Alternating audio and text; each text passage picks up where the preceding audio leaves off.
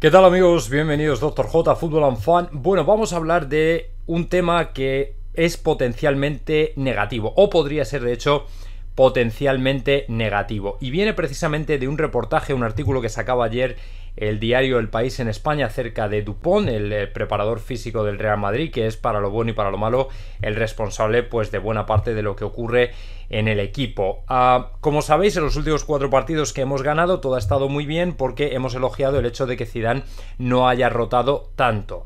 Entonces, al parecer, en este reportaje, que es amplísimo, es, eh, vamos, lo podéis consultar tanto en el diario AS como en el país, eh, sí, pues bueno, de alguna manera avala Dupont el hecho de que se haya rotado entre menos jugadores, solo 14 jugadores, lo cual es bueno porque permite un rendimiento óptimo del jugador, pero tiene un gran problema y que tenemos que tener en cuenta y es que las posibilidades de lesión en este tipo de casos obviamente aumentan de manera exponencial. Como veis, sin embargo, este estudio tiene otro vértice, cito literalmente, mucho más negativo, que pone en riesgo a los jugadores expuestos a, esta, expuestos a esta carga extrema de minutos. La recogida de datos resalta la necesidad de rotar a los jugadores para mejorar las estrategias de recuperación y mantener una tasa de lesiones baja entre los atletas durante periodos con un calendario de partidos congestionados. Esto se resume en el rendimiento en que el rendimiento en no se ve afectado, pero el riesgo de lesiones crece de manera,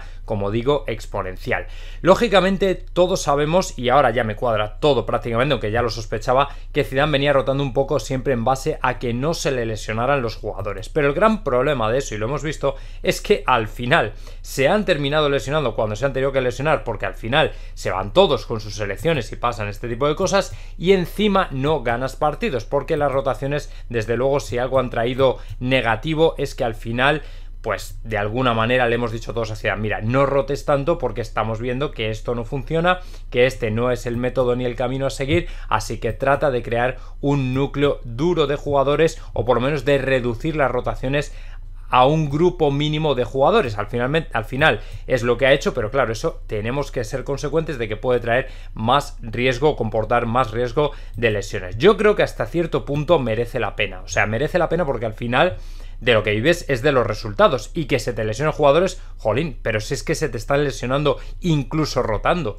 ¿Qué más te da? Pues mejor intenta sacar los mejores resultados posibles, que la temporada intente ir en una buena vertiente y luego ya, eh, pues de alguna manera planearemos algo para que si un jugador se lesiona tenga un recambio normal y que ese recambio sea tan fiable como el jugador titular o por lo menos parecido.